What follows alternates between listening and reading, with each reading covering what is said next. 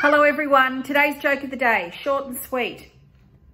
Uh, what's orange and sounds like a parrot? Carrot. Here's another one. Um, I dreamed about drowning in an ocean made out of a fizzy orange drink last night.